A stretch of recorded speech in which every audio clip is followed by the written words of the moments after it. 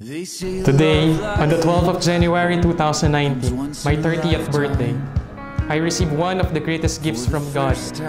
God gave me the blessing to be with the woman I will cherish and respect, the woman I will care and protect.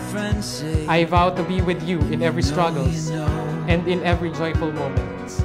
And I vow to fall in love with you every single day of our lives. These are not promises, by the way.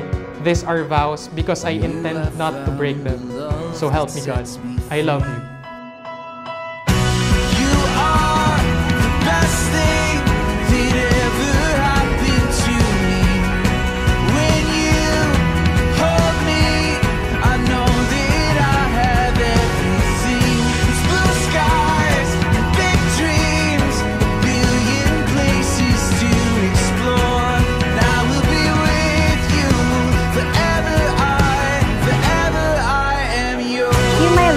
are so much more than what I prayed for.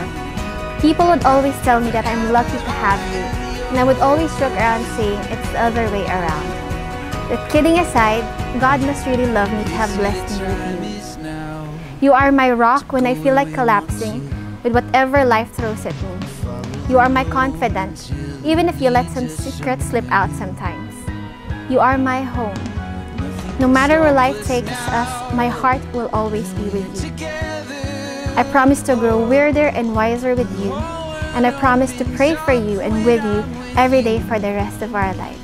I love you. You a love that sets me free.